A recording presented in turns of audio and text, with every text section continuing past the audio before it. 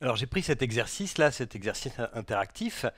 Euh, alors ce qu'on nous demande de faire, c'est d'arranger les 5 points orange sur la ligne numérique de manière à avoir une moyenne arithmétique de 2,8 et une médiane de 4. Et on nous dit que la distance entre deux points euh, de deux graduations, c'est 1.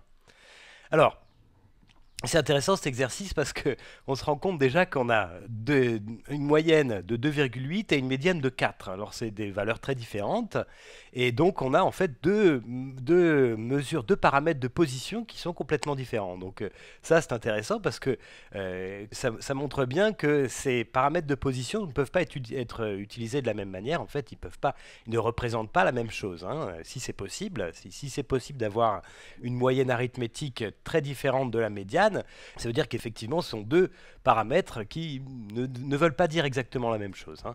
Donc ça, c'est vraiment quelque chose d'important à retenir. Hein. On va voir si c'est possible. Hein. A priori, c'est possible puisque l'exercice nous demande de le faire. Mais euh, c'est important à retenir que les deux paramètres de tendance centrale, ces deux paramètres de position, ne coïncident pas forcément. Donc en fait, il ne va pas falloir les utiliser de la même manière. Hein. Dans certains cas, la, moyenne arithmétique sera plus représentative que la médiane, et dans d'autres cas, ce sera l'inverse. Voilà. Alors d'ailleurs là, on va regarder. Par exemple, si je commence à bouger euh, ce point-là, ben, je peux remarquer que euh, la moyenne bouge, mais pas la médiane. Alors là, c'est en anglais. Hein. Mean, le, ce qui est en bleu là, mean, ça veut dire euh, c'est la moyenne. Donc ici, c'est la moyenne arithmétique. Et en vert, bon, médiane, c'est en anglais aussi, et c'est médiane. Là, c'est plus facile à voir. Alors, ce que je disais, c'est que quand je bouge, c'est une valeur euh, extrême comme ça. Si je, là, je, ne bouge pas la médiane. Si je fais la même chose de l'autre côté, c'est pareil. Je bouge pas la médiane, mais je bouge la moyenne. Alors ça, c'est intéressant parce que ça veut dire que si dans une série, j'ai des valeurs qui sont très, euh, très extrêmes, j'ai certaines valeurs qui sont très loin, euh, soit très grandes, soit très petites, eh bien, ça va affecter la moyenne, mais pas la médiane. Ça, c'est quelque chose d'important à retenir. Hein. Donc là, je peux le faire aussi. Voilà, là, tout ça, je ne bouge pas la médiane. Et, d'ailleurs, il y a une raison très simple qui fait que la médiane ne bouge pas ici, c'est que la médiane, c'est la valeur, c'est la valeur qui est au centre des données, c'est la valeur du milieu des données une fois qu'on les range dans l'ordre croissant. Donc ici, comme j'ai 5 points, euh, c'est un nombre impair, donc la médiane, ça va être le point qui est au milieu. Donc ici, c'est celui-là, c'est le, le, troisième point, hein, forcément, puisque là, j'ai vraiment deux points d'un côté et deux points de l'autre, donc c'est celui-là qui, qui, représente la médiane. Donc maintenant, je vais essayer de faire ce qu'on me demande, c'est-à-dire de placer la moyenne arithmétique à 2,8 et la médiane à 4. Alors, je vais commencer par la médiane, parce que je sais qu'elle va être représentée par ce point-là. Donc quand je bouge ce point-là, c'est la médiane qui bouge, la moyenne aussi, mais la médiane bouge. Donc je vais la placer à 4, puisque je sais que... Voilà, je sais que je dois avoir une médiane de 4, donc il suffit que je bouge le point du milieu, puisque c'est lui qui représente la médiane. Donc je vais le mettre ici. Voilà, là, la médiane est de 4. Et maintenant, ben, je vais bouger les valeurs, les autres valeurs, euh, de manière à avoir une moyenne de 2,8. On va voir si c'est possible. Il y a probablement plusieurs façons de le faire d'ailleurs. Hein. on peut avoir ça si c'est possible. Là, j'ai euh, une moyenne de 1,3 euh, maintenant. Je déplace encore cette valeur-là. Donc là, tu vois que la moyenne augmente, mais alors, voilà, je suis à 2,4. Je peux effectivement pas dépasser cette valeur-là, parce que là, du coup, si je place ce point-là à droite, eh ben forcément la médiane va changer. Hein. donc ça, c'était pas la bonne solution. Donc euh, voilà, je peux faire comme ça. Là, j'ai une moyenne de 2,4. Donc je vais essayer de bouger cette valeur-là, par exemple. Voilà, là j'ai une, moyenne de 2,8, donc c'est ce qu'on me demande. J'aurais pu faire peut-être différemment. Alors si je fais ça, par exemple, je remets ça, là j'ai une moyenne de 2,6, je peux peut-être déplacer celui-là, 2,7, 2,8. Voilà, j'ai une autre façon de faire. Hein. Ça, c'est deux façons de faire différentes. Bon, je vais voir si ça marche.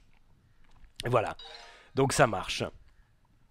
Alors, on va faire une autre question. Donc c'est intéressant hein, quand même parce que on voit bien que là, a priori, avec cette distribution-là, il y a une valeur qui est très extrême. Donc euh, cette valeur, elle est pas très, elle est, vraiment très différente des autres. Donc a priori, dans ce cas-là, c'est plutôt la médiane qu'il faudrait utiliser pour représenter les données, puisque euh, c'est autour de cette valeur-là, hein, donc de la médiane, que sont regroupées plutôt les données. Hein. Voilà, la, moyenne serait moins représentative dans ce cas-là, puisqu'il y a des euh, valeurs qui sont très lointaines. Alors, on va passer à une autre question. Voilà, alors là, on nous demande, on nous donne 10 points cette fois-ci. on nous demande d'arranger ces 10 points sur la, sur la droite numérique pour que la moyenne soit de moins 1,6 et la médiane de moins 4,5. Alors, on va continuer. Donc euh, ici, la médiane, c'est euh, pas le. comme il y a un nombre pair de données, il y a 10 données hein, ici. On nous dit qu'il y a 10 points orange. Donc euh, la moyenne, ça va être. le c'est pas le point du milieu. Il n'y a pas de point du milieu. Mais donc la médiane ici, ça va être la moyenne arithmétique des deux nombres qui sont au milieu. Donc les deux nombres qui sont au milieu, c'est ces deux là. Hein. Donc je vais commencer. Alors il faut que j'ai une médiane de moins 4,5. Donc je vais déplacer tout ça. Là, j'ai pas encore. Euh, voilà, là, je commence à bouger la médiane parce que je bouge les points. Voilà, là, je. Il faut que je déplace très clairement ces points-là assez loin, hein, puisqu'il faut que j'ai une médiane de moins 4,5. Donc là, ça fait moins 3, moins 3,5. Il faut que je me déplace encore. Hein. Moins 3,7 moins 4. Alors là, je vais être à, peu près bon, je pense. Voilà. Moins 4,5. Alors maintenant, la moyenne ici, elle est moins 2,2. Donc il faut que, j'ai une moyenne un peu plus grande. Donc je vais déplacer ces points-là, quelques-uns, euh, vers la droite pour voir ce que ça donne. Donc par exemple, je pourrais le faire en déplaçant euh, celui-là. Voilà. Ça suffit pas, donc il faut que je déplace encore, voilà, par exemple ça, moins 1,8 moins 1,7, je peux peut-être faire ça. Et là, j'ai une moyenne de moins 1,6. Hein. Mais je pourrais aussi peut-être euh, plutôt euh, déplacer celui-là, par exemple.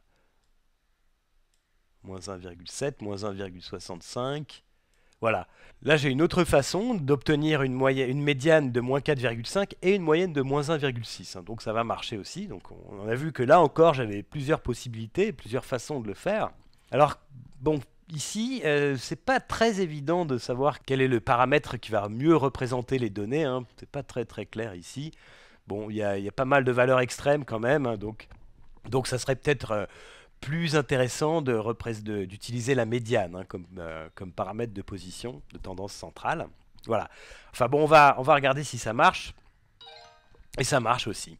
Voilà, donc euh, bon, on va s'arrêter là, mais euh, l'important là-dedans, c'est de bien comprendre que la moyenne et la médiane peuvent avoir des valeurs différentes. Parfois, elles auront leurs valeurs vont coïncider, mais dans, la plupart des cas, leurs valeurs sont différentes.